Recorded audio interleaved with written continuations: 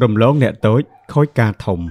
រឿងខ្លះដែលកើតមានជាញឹកញាប់ហើយក៏ជាប្រហែលអាចកើតមានរ៉ាំងរហូតតទៅបុគ្គលិកលក់ទំនិញចេញពីក្រុមហ៊ុន2បានយកទំនិញរបស់ខ្លួនរៀងរៀងខ្លួនទៅលក់ឲ្យក្រុមហ៊ុនដុតធំមួយបុគ្គលិកក្រុមហ៊ុន A បានសម្ដៅទៅរកប្រធានធំតែម្ដងព្រោះគេគិតថាឲ្យតែប្រធានធំព្រមហើយពួកកូនចៅទៅណាវាមិនព្រមបុគ្គលិកម្នាក់មនុស្សខំយកចិត្តយកថ្លើម លោកប្រធានដោយវិធីផ្សេងផ្សេងទីបំផុតប្រធានក៏ឆ្លើយថាខ្ញុំត្រូវសួរទៅខាងប្រធានផ្នែករបស់ខ្ញុំសិនបុគ្គលិកក្រុមហ៊ុន A គិតក្នុងចិត្តថា តែប៉ុណ្ណេះលោកប្រធានមុខជាពេញចិត្តស្ដោកហើយ ថ្ងៃបន្ទាប់មកទៀតគេក៏បានទទួលចម្លើយសម្រេចពីប្រធានដែលគេសង្ឃឹមថាមុខជាបានចម្លើយល្អតែមិនមែនអញ្ចឹងឯណាប្រធានក្រុមហ៊ុនធំបានប្រាប់ថាប្រធានផ្នែកបានសម្រេចយកទំនិញរបស់ក្រុមហ៊ុន B រួចហើយបុគ្គលិកលក់របស់ក្រុមហ៊ុន B នោះគេមិនចាំបាច់ស្ទុះស្ទារំលងទៅដល់ប្រធានធំឡើយគេទៅជួបត្រឹមតែអ្នកដែលមានអំណាចក្នុងការទិញគឺប្រធានផ្នែកទិញនោះឯង នៅពេលដែលទៅដល់គេក៏រៀបរាប់អំពីគុណប្រយោជន៍និងផលិតផលរបស់គេនិងបង្កើតភាពស្និទ្ធស្នាលខ្លះៗប្រធានផ្នែកទិញក៏សម្រេចចិត្តទិញទំនិញរបស់គេតែម្ដងដោយមិនចាំបាច់សុំការសម្រេចពីនរណាទៀតឡើយព្រោះថាគេគឺជាអ្នកដែលមានសិទ្ធិធំជាងគេនៅក្នុងផ្នែកទិញស្រាប់ទៅហើយម្យ៉ាងទៀតការដែលគេទិញទំនិញពីក្រុមហ៊ុន B ក៏ដោយសារតែទំនិញនោះមានគុណភាពល្អពិតប្រាកដទោះជាវាមិនសូវល្អជាងទំនិញរបស់ក្រុមហ៊ុន A តែវាក៏មិនអន់ជាងអ្វីដែរហើយហេតុផលដែលសំខាន់ម្យ៉ាងទៀតដែលគេទិញក៏ដោយសារតែបុគ្គលិកក្រុមហ៊ុន B ផ្ដល់កិត្តិយសមិនរំលងទូនីតិព្រមទាំងមានភាពស្និទ្ធស្នាលជាមួយគេនិងប្រសិនបើដឹងថាបុគ្គលិកក្រុមហ៊ុន A បោះសន្ទូចរំលងភ្នំទៅដល់លោកប្រធានធំបែបនោះគេនឹងកាន់តែស្អប់ថែមទៀតព្រោះវាជាការមើលស្រាលចំពោះរូគេក្នុងវិធីចាត់ចែងការងារគេតែងបែងចែកការទទួលខុសត្រូវទៅតាមលំដាប់ជាន់ថ្នាក់ទោះបីជានាយកជាប្រធានធំជាងគេក៏ដោយ តែមុននឹងធ្វើអ្វីមួយនាយកក៏ត្រូវសួរយោបល់ពីអ្នកទទួលខុសត្រូវដោយផ្ទាល់លើកិច្ចការនោះជាមុនហើយជាទូទៅគេតែងតែជឿឬស្ដាប់ទៅលើយោបល់នាយផ្នែកនីមួយៗបើមិនដូច្នោះទេតើគេនឹងបែងចែកការងារគ្នាយ៉ាងដូចម្ដេចនឹងកើតទៅបើមានកិច្ចការអ្វីត្រូវពឹងពាក់ចវាយខេតលោកចវាយខេតក៏ត្រូវសួរលោកមេស្រុកលោកមេឃុំឬមេភូមិដែលជាដដែលនោះឯងនៅស្រុកយើងមានរឿងច្រើនណាស់ដែលតាមពិតជារឿងតូចតាចកំពេចកំប៉ុកតែគេចូលចិត្តធ្វើឲ្យវែងឆ្ងាយសំបីតែអ្នកល្មើសច្បាប់ចរាចរណ៍ក៏ឆ្លៀតទូរស័ព្ទចុះឡើងចុះឡើងដើម្បីពឹងពាក់អ្នកធំផងដែរមាននារីម្នាក់មានមុខមាត់ស្អាតគួរសមស្គាល់អ្នកតូចអ្នកធំរួមទាំងប៉ូលីសផង ពេលដែលប៉ូលីសឃាត់ឡានរបស់នាងអំពីបញ្ហាច្បាប់ចរាចរណ៍នាងក៏សុំឲ្យមេប៉ូលីសជួយគឺជាការល្ងងបំផុតដែលសុំឲ្យអ្នកធំមកជួយដោះស្រាយរឿងបែបនេះព្រោះការសុំឲ្យអ្នកធំជួយរឿងអ្វីមួយវាតន់តែរឿងនោះវាដែលធំដុំគួសមមនុស្សយើងម្នាក់ម្នាក់តែងតែរាប់ចំនួនក្នុងការជួយគ្នាទៅវិញទៅមកប្រសិនបើយើងយករឿងដែលមិនជាបើទៅពឹងអ្នកដតីយើងក៏នឹងជំពាក់គេម្ដងទៅហើយនឹងការដែលយករឿងមិនជាបើបែបនេះទៅពឹងពាក់អ្នកដតីវាជាការបង្ហាញឲ្យឃើញនៅភាពល្ងងខ្លៅមិនចេះថ្លឹងថ្លែងលើទម្ងន់របស់បញ្ហាជាការរំខាននិងជាការមិនផ្ដល់កិត្តិយសដល់គេទៀតផង អ្នកឆ្លាតគេមិនចាំបាច់ពឹងនរណាមកជួយរឿងបែបនេះទេព្រោះការល្មើសច្បាប់ចរាចរណ៍បន្តិចបន្តួចនេះឲ្យតែប៉ូលីសផាកពិន័យទៅគឺវារួចរាល់ហើយមិនចាំបាច់ទៅពឹងអ្នកនេះឬអ្នកនោះនាំតែជំពាក់គុណគេដោយសារតែរឿងកំពេចកំប៉ុកនេះធ្វើអ្វីមនុស្សយើងបើថានឹងជំពាក់គុណគេវាគួរតែជារឿងចាំបាច់ជាមិនរួចឬរឿងស្លាប់រស់ទើបវាសមនារីម្នាក់នោះអាចនឹងចង់បង្ហាញអំពីអត្តពលរបស់ខ្លួនថា ឯហ៊ានចាប់យកឬឯងស្គាល់យើងតិចពេកហើយហើយតើវានឹងទៅជាយ៉ាងដូចម្ដេចទៅវិញអស់យ៉ាងហើយមេឲ្យដោះលែងហើយកូនចៅក៏នឹងតាមបញ្ជាមេតែប៉ុណ្ណោះ មានអីទៅឈឺក្បាលដល់គាត់រួចពីនោះគេក៏ធ្វើការខ្លួនបន្តទៅទៀតមានរឿងមួយដែលលោកតំណាងរាស្ត្រម្នាក់គាត់និយាយដែលអស់សំណើចប្រាប់ថារថយន្តរបស់គាត់ត្រូវប៉ូលីសឃាត់គាត់ក៏បានទូរស័ព្ទសុំជំនួយពីមេប៉ូលីសដែលជាមិត្តរបស់គាត់បន្ទាប់ពីរៀបរាប់ដំណើររឿងឲ្យមេប៉ូលីសរួចហើយគាត់ក៏ហុចទូរស័ព្ទទៅឲ្យកូនចៅដើម្បីទទួលបញ្ជាពីមេរបស់ខ្លួនកូនចៅស្ដាប់បញ្ជាមេរួចហើយក៏ដាល់ត្រន់ត្រន់យកទូរស័ព្ទទៅហុចឲ្យលោកតំណាងរាស្ត្រព្រមទាំងនិយាយដោយការគោរពថាសូមគោរពទានប្រុសមេខ្ញុំប្រាប់ឲ្យដេចគុណអញ្ជើញទៅចុះតែផ្ដាំថាសូមឲ្យដេចគុណមេត្តាចែកលុយឲ្យកូនចៅចាយខ្លះផងចៃដន្យក្នុងហៅប៉ៅលោកតំណាងរាស្ត្រមានគ្មានលុយរាយមានតែกระดาษតូចបំផុតត្រឹម20ដុល្លារគាត់ក៏ឲ្យផ្ដាច់តែម្ដងទៅគិតសពសពទៅបើឲ្យប៉ូលីសផាកយ៉ាងច្រើនអស់ត្រឹម5ដុល្លារ ដល់ពេលមានមនុស្សចេតនាអស់20ដុល្លារហើយនៅចំពាក់គុណគេទៀតរឿងនេះមិនខុសពីរឿងអ្វី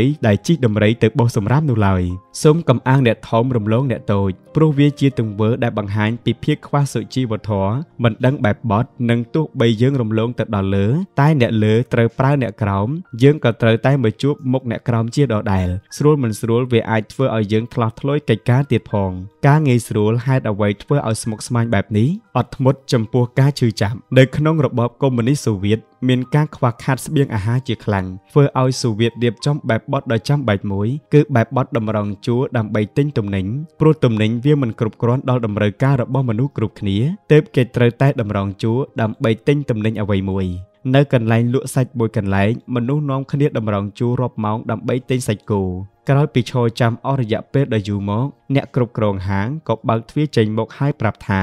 សមមិត្តទាំងឡាយហាងរបស់យើងមិនមានសាច់គ្រប់គ្រាន់សម្រាប់លក់ឲ្យអ្នកគ្រប់គ្នាទេហេតុនេះសូមឲ្យអ្នកណាដែលមានសេចក្ដីឆ្វីសពួកអ៊ីស្រាអែលត្រឡប់ទៅផ្ទះវិញចុះពួកឆ្វីសក៏មិនមាត់កអ្វីគេដឹងច្បាស់ថាខ្លួនជាប្រជាជនថ្នាក់ក្រោមមានសិទ្ធិមិនស្មើនឹងអ្នកផ្សេងទើបនាំគ្នាត្រឡប់ទៅផ្ទះតាមសម្រួល អ្នកក្រៅពីនោះក៏នៅបន្តតម្រង់ជួររហូតជាង1ម៉ោងទៀតអ្នកគ្រប់គ្រងហាងក៏ចេញមកប្រកាសម្ដងទៀតសមមិត្តសាច់គោរបស់យើងមានមិនគ្រប់គ្រាន់សម្រាប់អ្នកគ្រប់គ្នាទេហេតុនេះអ្នកដែលមិនមែនជាសមាជិកបកកុម្មុយនីសូមត្រឡប់ទៅផ្ទះវិញចោអ្នកដែលមិនមែនជាគណៈបកកុម្មុយនីក៏ដកថយទៅវិញអស់មួយចំនួនទៀតពីម៉ោងបន្ទាប់ក្រោយមកអ្នកចាត់ការក៏ចេញមកប្រកាសបន្តទៀតសមមិត្តយើងពិតជាមានសាច់គោសម្រាប់លក់ឲ្យតែប្រហែលជាមិនបានគ្រប់អ្នកដែលមិនឈរនៅទីនេះទេហេតុនេះយើងសូមឲ្យអ្នកណាដែលមិនធ្លាប់ចេញច្បាំងការពារមាតុភូមិសូមឲ្យត្រឡប់ទៅផ្ទះវិញចុះអ្នកតម្រង់ជួរក៏កាន់តែកាត់ខ្លីបន្តិចទៀតរហូតដល់ម៉ោង6ល្ងាចដល់ម៉ោងត្រូវបិទហាង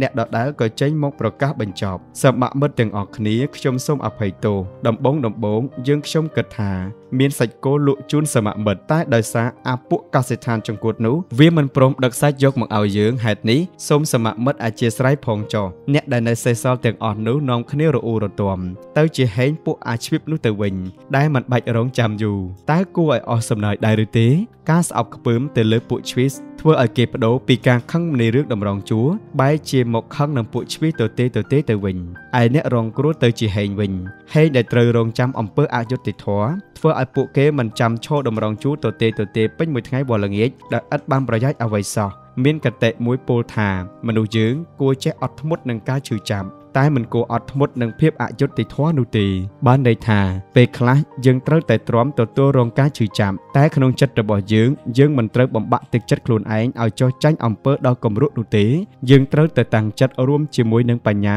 ដើម្បីរំដោះខ្លួនឲ្យផុតពីភាពអយុត្តិធម៌នោះដែលជួនកាលធម្មជាតិក៏មិនមើលនឹងភ្នែកដែរតែអ្វីដែលសំខាន់បំផុតគឺបញ្ញានោះឯងបើគ្មានបញ្ញាបើទោះបីជាអ្នកខំតាំងចិត្តបែបណាក៏វាមិនងាយបានផលអ្វីជាដុំកំភួនឡើយក្នុងករណីខាងលើបើឲ្យពួកឆ្វីសជ្រើសរើសគេនឹងជ្រើសរើសយកការតម្រង់ជួរដោយអ្នកដតីអញ្ចឹងដើម្បីឲ្យស្មើភាពគ្នាប៉ុន្តែមានអ្វីអ្វីជាច្រើននៅលើលោកនេះដែលយើងមិនទាន់អាចជ្រើសរើសបានទោះជាយ៉ាងណាក៏នៅមានអ្វីអ្វីជាច្រើនទៀតដែលយើងជ្រើសរើសបានដែរ ដោយករណីតម្រង់ជួរនេះជាដើម មនុស្សយើងតែងយល់ឃើញថាការតម្រង់ជួរគឺជាទម្លាប់ល្អមួយយ៉ាងអ្នកណាមកមុននឹងបានមុនគឺជាការបង្ហាញអំពីភាពយុត្តិធម៌ក្នុងការទទួលសេវាបម្រើសេវាផ្សេងៗឬសិទ្ធិទិញទំនិញមុននឹងក្រោយដោយសារការផ្គត់ផ្គង់មិនគ្រប់គ្រាន់តាមតម្រូវការឬតម្រូវការច្រើនជាងទំនិញឬមួយក៏អាចមកពីវិធីចាត់ចែងមិនបានល្អ ទើបធ្វើឲ្យមានការតម្រង់ជួរនេះកើតឡើងអ្នកគិតក្នុងផ្លូវលំបាកមួយចំនួនគិតថាការតម្រង់ជួរវានឹងធ្វើឲ្យខាតពេលវេលាខាតប្រយោជន៍គួរឲ្យធុញទ្រាន់អ្នកខ្លះសុកចិត្តមកក្រាស់ញែកប្រឡោះគេចូលទាំងឥតអៀនខ្មាស់លើសពីនេះទៅទៀតមានអ្នកខ្លះខាងមានអ្នកខ្លះខាតបើកបរគាត់ខ្ជិលបន្តពីក្រោយគេក៏ខំជ្រៀតសោកសៀតមិនខ្វល់ថាហាងណាឆ្វេងខាងណាស្ដាំ ខាងណាខុសឬខាងណាត្រូវឡើយដែលជាហេតុធ្វើឲ្យស្ទះចរាចរណ៍រាប់ម៉ោងក៏មានដែរក្នុងរឿងនេះបើប៉ូលីសមិនព្រមចាត់ការឬផាកពិន័យឲ្យបានធ្ងន់ធ្ងរទៅលើអ្នកបើកបរដែលឥតអៀនខ្មាស់នោះគាត់មុខជានឹងត្រូវពិបាកឈប់បកដៃផ្លុំកញ្ចែតទាំងឈរហាលក្តៅជារៀងរហូតហើយសម្រាប់អ្នកគិតក្នុងផ្លូវល្អមួយចំនួន មានគំនិតបែបប្លែក បើចាំបាច់គេត្រូវតែបន្តកន្ទុយជាជួរតែគេត្រូវរកអ្វីដើម្បីកុំឲ្យរំខានអារម្មណ៍របស់គេដូចជា ការអានសៀវភៅការស្ដាប់ចម្រៀងតាមទូរស័ព្ទឬជជែកពីនេះពីនោះដើម្បីជាប្រយោជន៍សម្រាប់ការគិតនេះជាការប្រើពេលដែលមានប្រយោជន៍មានអ្នកគិតក្នុងផ្លូវល្អលើសពីនេះទៅទៀតដូចជាជនជាតិអាមេរិកកាំងដ៏ឆ្លាតម្នាក់គេខ្ជិលម៉ូម៉ៅពីរឿងតម្រងជួរយូយូឬមិនចាំបាច់គិតក្នុងផ្លូវល្អដូចអ្នកដទៃគេអាចគិតបានលើសពីអ្នកផ្សេងគឺបើក្រុមហ៊ុនស៊ីឈ្នួលតម្រងជួរតែម្ដងនៅសហរដ្ឋអាមេរិកអ្វីអ្វីក៏ត្រូវតែបន្តកន្ទុយគ្នាដែរដូចជាមន្ទីរពេទ្យជាដើមអ្នកទៅពិនិត្យព្យាបាលមានចំនួនច្រើនគេត្រូវតែតម្រងជួររីឯការទិញសម្បត្តិកុនសម្បត្តិលខោនឬអ្វីផ្សេងផ្សេងទៀតជាច្រើនគឺត្រូវតែធ្វើរបៀបនេះពេលវេលាជាមាសប្រាក់អ្នកខ្លះគេមិនសឹកចិត្តខាតពេលនៃការតម្រង់ជួរទេហេតុនេះហើយទើបធ្វើឲ្យក្រុមហ៊ុនស៊ីឈ្នួលតម្រង់ជួរនេះអាចបំពេញតាមតម្រូវការរបស់មនុស្សគ្រប់គ្នាបានតើអ្នកគ្មានពេលតម្រង់ជួរនៅមន្ទីរពេទ្យមែនទេតើអ្នកគ្មានពេលទៅតម្រង់ជួរទិញសម្បត្តិកុនមែនទេបើអ្នកគ្មានពេលសុំទូរស័ព្ទមកយើងខ្ញុំយើងនឹងបញ្ជូនបុគ្គលិកទៅតម្រង់ជួរជំនួសអ្នកដោយគិតប្រាក់ឈ្នួលយ៉ាងសមរម្យបើធៀបទៅនឹងការខាត់បង់ពេលវេលារបស់លោកអ្នករឿងប្រាក់ឈ្នួលនេះសម្រាប់អ្នកខ្លះគេមិនគិតថាវាថ្លៃអ្វីឡើយព្រោះពេលវេលារបស់គេថ្លៃជាងប្រាក់ឈ្នួលនោះរាប់សិបដងទៅទៀតគេបានជួលមនុស្សចាស់ចាស់ដែលចូលនិវត្តន៍យកមកធ្វើជាបុគ្គលិកសម្រាប់ទៅឈរតម្រង់ជួរបន្តកន្ទុយគ្នា គេបានប្រយោជន៍ទៅវិញទៅមកអ្នកដែលគ្មានពេលវេលាតម្រង់ជួរក៏មានប្រយោជន៍ឯចាស់ចាស់ដែលគ្មានការធ្វើក៏បានប្រយោជន៍នេះក៏ដោយសារតែការគិតគូរក្នុងផ្លូវល្អការគិតក្នុងផ្លូវដែលមានប្រយោជន៍ហើយអ្នកដែលចាប់ផ្ដើមមានគំនិតបែបនេះគឺជាជនជាតិជ្វីសតែដដែលនោះឯងគេហេងជានិច្ចហេងដោយសារគំនិតបញ្ញាដ៏មុតស្រួចរបស់គេនោះឯងការតម្រង់ជួរគឺជាភាពដ៏សមរម្យមួយដែលបង្ហាញអំពីភាពស្មើគ្នាការតម្រង់ជួរជួយសម្រួលដល់របៀបរៀបរយផ្សេងផ្សេងអ្នកដែលល្មើសនឹងការតម្រង់ជួរសូមកុំគិតថាខ្លួនឯងឆ្លាត ការពិតអ្នកនោះគឺជាមនុស្សល្ងងមុខក្រាស់កេងប្រវ័ញ្ចឥតយៀនខ្មាស់ដែលអាចធ្វើឲ្យសង្គមមានបញ្ហាជាញឹកញយដោយសារពួកខ្លួនអ្នកចេះតម្រង់ជួរគឺអ្នកដែលចេះឈរលើស្មារតីយុត្តិធម៌ដែលអាចប្រើបែបបទផ្សេងផ្សេងរបស់សង្គមឲ្យមានប្រយោជន៍ដល់ខ្លួនតែមិនត្រូវឲ្យប៉ះពាល់ឬខូចខាតប្រយោជន៍ដល់អ្នកដទៃនិងសង្គមជាតិឡើយផែនដីសំប៉ែតជនជាតិអឺរ៉ុបសម័យដើមគេជឿថាផែនដីមានរាងសំប៉ែតដូចជាបន្ទះក្តារមួយសន្លឹកដូច្នោះដែរតែមានបរិសម្នាក់ដែលមិនជឿថាផែនដីសំប៉ែតឡើយដោយអនុលោមទៅតាមការផ្លាស់ទីចុះឡើងនៃព្រះអាទិត្យនិងព្រះច័ន្ទគេប្រកាសថាខ្លួននឹងធ្វើដំណើរជុំវិញផែនដី ហើយគេក៏ត្រូវបានអ្នករិះគន់មួយចំនួនឲ្យពរជ័យថា ឯងមកជាធ្លាក់ពីផែនដីស្លាប់មិនខានឯងស៊ីផ្លែអីបានច្រឡប់សតិអញ្ចឹងអាចំគួតប្រាប់ថាផែនដីសំប៉ែតហើយនៅមិនជឿទៀតគេមិនខ្វល់ពីពាក្យផ្លែផ្កាសោកសៀតរបស់អ្នកទាំងនោះឡើយគេរៀបចំចេញដំណើរដែលឥតរញរាទីបំផុតទើបគេដឹងថាគេគិតត្រូវគេមិនធ្លាក់ស្លាប់នោះទេគេคล้ายទៅជាវីរៈបរិបទថ្មីមួយទៀតរបស់ពិភពលោកគេមានឈ្មោះថា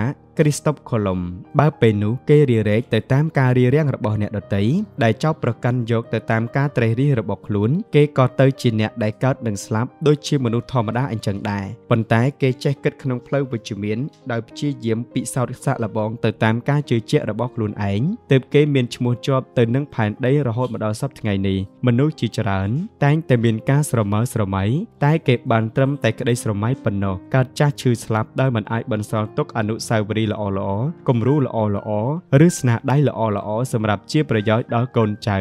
ឬដល់មនុស្សជាតិឡើយនេះក៏ដោយសារតែគេមិនព្រមដើរទៅតាមការស្រមើស្រមៃរបស់ខ្លួននោះតើការដើរតាមក្តីស្រមៃរបស់ខ្លួនវាពិតជាពិបាកណាស់ទៅឬមនុស្សយើងកើតមកហើយតែស្លាប់ទៅវិញនាំគ្នារត់លេងនៅលើផែនដីបានតែមួយរយៈប៉ុណ្ណោះ ប្រសិនបើយើងចង់សាកល្បងធ្វើអ្វីដែលធំធេងមានប្រយោជន៍សម្រាប់មនុស្សជាតិទោះបីជាមិនបានសម្រេចក៏វាមិនមានទោះអ្វីធំដុំដែរប៉ុន្តែបើបែរជាបានសម្រេចទៅវិញវានឹងទៅជាយ៉ាងណាបើយើងហ៊ានប្រថុយយើងនឹងបានផលកម្រៃពីការប្រថុយនោះខ្លះជាមិនខាន មិត្តខ្ញុំម្នាក់បានគិតផ្ទុយពីនេះទៅវិញ គេនិយាយថាគ្រីស្តុបកូឡុំហ៊ានផ្សងព្រេងធ្វើដំណើរជុំវិញផែនដី មិនមែនដោយការព្យាយាមតែការស្រមើស្រមៃអ្វីទេ តែដោយសារតែគាត់ធុញទ្រាន់នឹងភរិយារបស់ខ្លួនទេពខំរកលេសដើរលេងឲ្យបាត់មុខពីប្រពន្ធរបស់ខ្លួនឯងទៅវិញខ្ញុំក៏សួរទៅវិញថាគ្រាន់តែកិច្ចពីប្រពន្ធដល់ថ្នាក់ហ៊ានប្រថុយស្លាប់ផងឬគេក៏ឆ្លើយបន្ត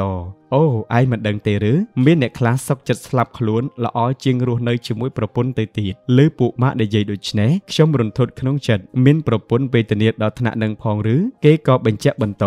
មិនមែនឲ្យតែមានប្រពន្ធសុទ្ធតែវេទនាទេឯងកុំនិយាយមកដល់ស្រីស្រីទាំងអស់ប្រយ័ត្នរកច្រកដើរមិនឃើញដោយសារតែគេគិតពីរឿងពិបាកពិបាកដូចនេះទើបមិត្តរបស់ខ្ញុំគេមិនព្រមយកប្រពន្ធរហូតដល់ឥឡូវនេះ គេចិត្តដល់អាយុត្រូវអាត្រែតទៅហើយ នៅរកប្រពន្ធមិនបាន តាមខ្ញុំយល់បើមនុស្សប្រុសទាំងអស់នៅលើលោកគិតដូចមិត្តរបស់ខ្ញុំម្នាក់នេះជាងកន្លះសតវត្សទៀតពិភពលោកប្រហែលជាដាច់ពូជមនុស្សអស់ហើយហេតុនេះមនុស្សយើងមិនមែនត្រឹមតែប្រថុយដើម្បីការស្រមើស្រមៃនោះទេសូម្បីតែការចាប់គូប្តីប្រពន្ធក៏ត្រូវតែហ៊ានប្រថុយខ្លះដែរបើមិនដូច្នោះទេពិភពលោកប្រកាសជាស្ងៀមឈឹងគ្មានរសជាតិអ្វីឡើយយើងបែរមុខនិយាយអំពីពួកអ្នកដែលខ្លាចធ្លាក់ពីលើផែនដីវិញយើងនឹងសង្កេតឃើញថាពិភពលោកតែងតែវិវត្តទៅមុខជានិច្ចពីមុនយើងមានត្រឹមតែរទេះគោរទេះសេះទេ តែលុះដល់ពេលមានឡានតាក់ស៊ីមានឡានក្រុងមក អ្នកដែលរស់ស៊ីរត់រទេះសេះតែម្យ៉ាងមុខជានឹងត្រូវដាច់ពោះជាមិនខានពីដើមគេប្រើកាមេរ៉ាថតរូបប្រើ film តែឥឡូវនេះគេនិយមប្រើកាមេរ៉ា digital ដោយមិនចាំបាច់ប្រើ film លោកអ្នកសាកគិតទៅមើលថាតើថ្ងៃមុខ គេនឹងប្រើ feel ឲ្យអស់លុយទៅទេទៅទេធ្វើអ្វីពីដើមគេប្រើម៉ាស៊ីនវាយអង្កលេលេខដៃក្រោយមកប្រើម៉ាស៊ីនអង្កលេលេខអគ្គិសនីរហូតដល់សប្តាហ៍ថ្ងៃនេះគេប្រើកុំព្យូទ័រក្មេងៗសម័យឥឡូវនេះ cluster តែមិនស្គាល់ម៉ាស៊ីនអង្កលេលេខទៀតផងបច្ចេកវិទ្យាថ្មីថ្មីចំណេះដឹងថ្មីថ្មីកើតមានជារៀងរាល់ថ្ងៃយើងត្រូវដើរនិងបត់បែនឲ្យទាន់គេបើមិនដូច្នេះទេយើងនឹងទៅជាមនុស្សហួសសម័យដែលមិនអាចប្រៀបផ្ទឹមនឹងអ្នកដទៃបានឡើយហេតុនេះយើងត្រូវដើរឲ្យទាន់ការវិវត្តរបស់ពិភពលោកត្រូវបំពេញការស្រមើស្រមៃតាមសមត្ថភាពពិសេសរបស់ខ្លួន តែទោះបីជាយើងដើរលឿនទៅដល់ណាក៏ដោយយើងក៏ត្រូវប្រកាន់ខ្ជាប់នៅគោលការណ៍គុណធម៌ផងដែរ ដើម្បីឲ្យយើងបានរួមសុខរួមទុក្ខនៅលើលោកមានប្រសិទ្ធភាពគុណធម៌ជាកត្តាចាំបាច់ដែលមនុស្សម្នាក់ម្នាក់ត្រូវតែមានសម្រាប់ក្តីសុខចម្រើនសម្រាប់មនុស្សជាតិឬគល់ពិតប្រកបនៃភាពឧត្តមឧត្តមភាពក្លាហានគឺការងាកចេញពីគំនិតចាស់កំរិលងាកផុតពីគំនិតដែលធ្លាប់ធ្វើបានពីមុនរួមទាំងការងារចេញពីរូបភាពនៃទង្វើផ្សេងផ្សេងដែលអ្នកផងធ្លាប់ទទួលស្គាល់ពីមុនមកលៀបឥតព្រៀងទុកហាងគុយទាវមួយកន្លែងជាអ៊ុនឡើងព្រោះមានកម្មវិធីមនុយពិសេសរបស់ទូរទស្សន៍មួយបានចុះទៅថតដល់កន្លែង ព្រមទាំងជួយឃោសនាឲ្យក្រោយពេលឃោសនាមួយថ្ងៃព្រឹកឡើងមនុស្សម្នាចូលណែនពេញហាងដើម្បីភ្លក់គុយទាវឆ្ងាញ់ម្ចាស់ហាងធ្វើមិនទាន់មនុស្សនាំគ្នាបន្តកន្ទុយឈររងចាំមិនព្រមចេញទៅណាដែលជាហេតុធ្វើឲ្យម្ចាស់ហាង អ្នករត់តុកនិងអ្នកស្រុកគុយទាវត្រូវវិលក្បងវងវែងវងវាន់រត់ជន់គ្នាពេញហាងពេលដល់កមែនតែនអ្នករត់តុកក៏មោម៉ៅដាក់ភ្ញៀវឯលោកម្ចាស់ហាងទោះបីជានៅក្នុងចិត្តត្រេកអរខ្លះក៏ដោយក្នុងពេលនេះក៏ទប់អារម្មណ៍មិនបាន ទៅជាលោឡាផ្អើលគេផ្អើលឯងហើយក៏បញ្ចេញអារម្មណ៍មិនល្អដាក់ភ្ញៀវខ្លះខ្លះផងដែរម៉ួយដែលបានមកតាមការឃោសនានោះក៏ខឹងហើយម៉ួយប្រចាំថ្ងៃក៏កាន់តែខឹងជាងគេទៅទៀតដោយសារតែចិត្តដោយសារតែការចង្អៀតហៅមហូបមិនចេះបានថែមទាំងម្ចាស់ហាងដែលធ្លាប់តែគួសមរយៈតៈបែរជាមកពាក់មុខយៈដាក់គ្នាទៅវិញទីបំផុតអ្នកអ្នកណាទ្រាំបានក៏ចាំទៅ អ្នកណាចាំមិនបានក៏ហីទៅ រំលងប៉ុន្មានថ្ងៃបន្ទាប់ពីនោះមកក៏ស្ងាត់ឈឹងតើហេតុដូចម្ដេចបានជាអញ្ចឹងភ្ញៀវឆ្លងកាត់ក៏លែងចូលភ្ញៀវប្រចាំថ្ងៃក៏បាត់មុខក្មេងម្នាក់ចេញមុខក្នុងទូរទស្សន៍ល្បីឈ្មោះក្នុងមួយប្រព្រឹត្តភ្នែកលុយកាក់មាសប្រាក់ហូរចូល តែមិត្តចាស់ចាស់បាត់ស្រមោលអស់បានមិនយូរប៉ុន្មានគេឈ្មោះរបស់គេក៏សាបសូន្យទៅវិញ គេទៅមុខក៏មិនដល់ត្រើយបកក្រោយក៏មិនបានតួឯករារងត្រូវគេលើកដំកើងបង្ហាញមុខបរិយៈមនុស្សម្នាក៏នាំគ្នាអួតសរសើរសោះសាយតែដល់ពេលផុតរដូវសោះសាយគេក៏ត្រូវคลายទៅជាតារារារងរួចដើមនារីស្រស់ស្អាតសោភាដែលទំនេរបរោះបរោះតែងចោមរួមសុំស្នេហ៍លុះដល់នាងរៀបការរួចភាពលេចធ្លោរបស់នាងក៏បាត់ទៅវិញអ្នកស្រុកអ្នកស្រែខ្លះត្រូវប៉ាន់ដីលក់បានលុយមួយគំនរខ្លះក៏មានគំនិតខ្លះទៀតក៏ចាយខ្ជិលខ្ជាក់ទិញឡានទិញម៉ូតូស៊ីផឹកចូលកាស៊ីណូមិនបានប៉ុន្មានក៏ខ្ទេចម៉ត់ដូច អាចទីទុយធ្លាក់ខ្លួនក្រវិញដដែល លើកមុនក្រ តែនៅសល់ដី លើកក្រោយក្រហើយគ្មានសល់អ្វីស្រួលមិនស្រួលសល់តែខោមួយចង្កេះអ្វីអ្វីទាំងនេះបានចម្លើយម្យ៉ាងគឺវត្តសង្សារអ្វីអ្វីគ្រប់យ៉ាងមានឡើងមានចុះមានកើតមានស្លាប់មានល្អមានអាក្រក់មានសុខមានទុក្ខមិនទៀងទាត់ជួនក៏សម្បូរលុយជួនក៏ខ្វះលុយថ្ងៃនេះមានគេឈ្មោះល្អថ្ងៃក្រោយខូចឈ្មោះថ្ងៃនេះមានគេចោមរំលើកសរសើរថ្ងៃក្រោយមកទៀតក៏មានគេចោមរំជេរប្រតិចអញ្ចឹងទៅកម្មជ្រួចដែលគេបាញ់លំអពេលបាញ់ឡើងលើវាបែកជារូបរាងផ្សេងផ្សេងត្រចះត្រចង់តែមិនយូរប៉ុន្មានផ្ទៃមេឃក៏ងងឹតសុនសងដូចដើមក្រោយពេលដែលពន្លឺទាំងនោះរលត់អស់ទៅវិញ ពេលខ្លះជោគវាសនាដើរមករកយើង តែវាមិនបាននៅជាមួយយើងជារៀងរហូតនោះទេហេតុនេះបើពេលណាមានឱកាសយើងត្រូវខិតខំប្រឹងប្រែងប្រមូលឲ្យអស់ពីលទ្ធភាព និងខំរក្សាវាទុកឲ្យបានគង់វង្សក្រែងលោពេលណាវាត្រឡប់ទៅវិញ